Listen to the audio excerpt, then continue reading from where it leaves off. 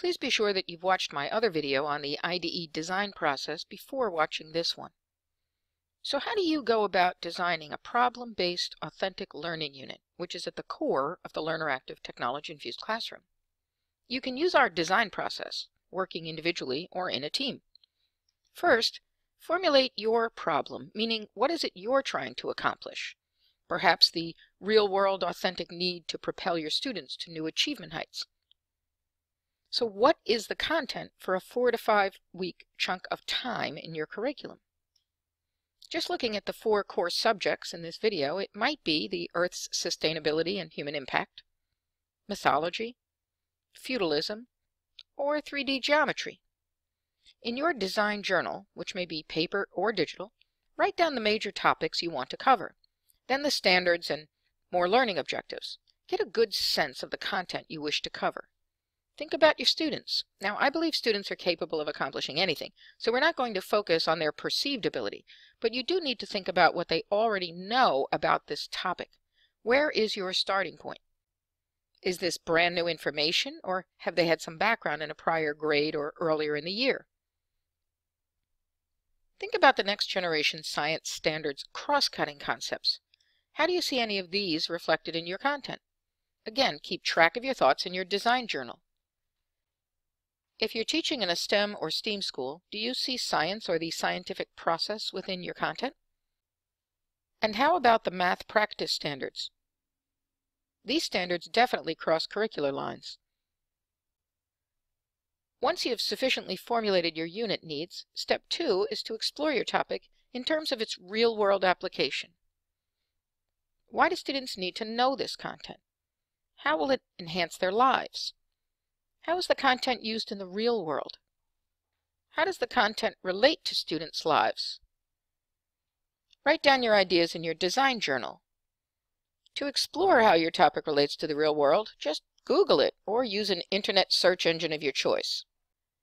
Look through newspapers and magazines. Often you'll find that current events link to your content.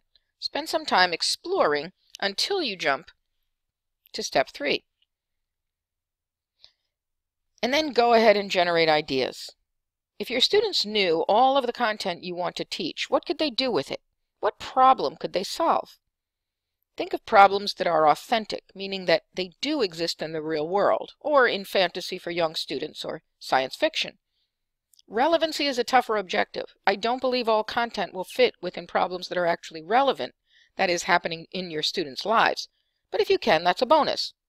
Definitely design problems that are open-ended, where there is not one right answer, but rather where students have to apply the content to generate a new idea or solution.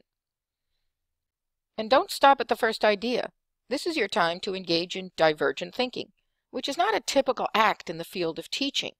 If you feel outside of your comfort zone, that's okay. Suspend disbelief.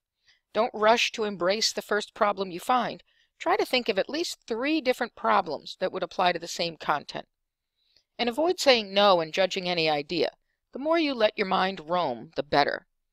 You may find that you need to go back and explore more about your content and its connection to the real world. Once you have some ideas, the next step is to sift through them to select the best.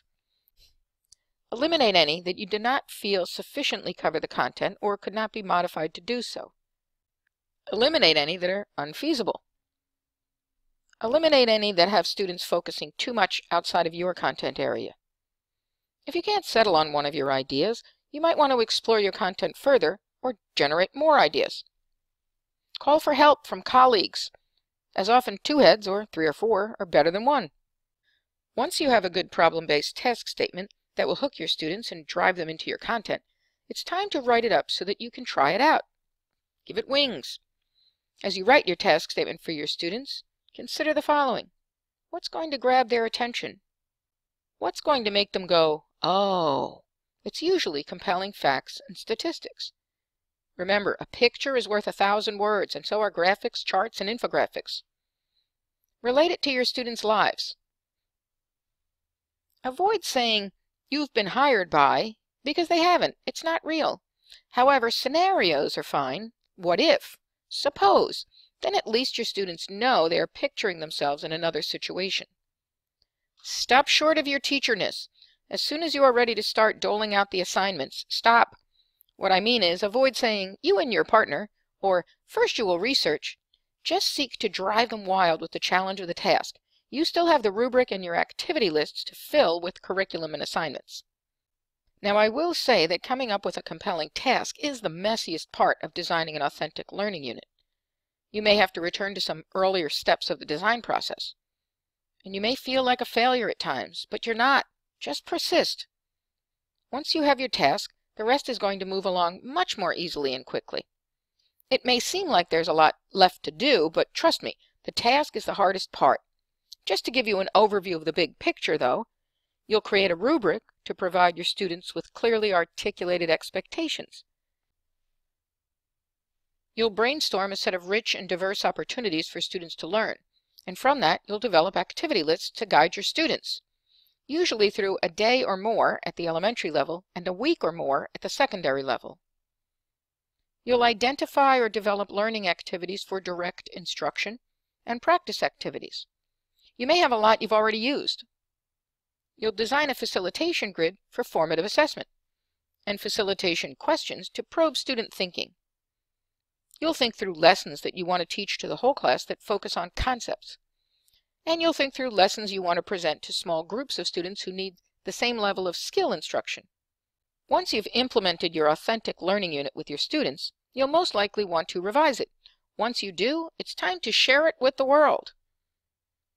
Obviously, you'll share it with school colleagues, but perhaps across your district or state, or post it online for other teachers to use, and maybe even publish a book. As I always say, go change the world.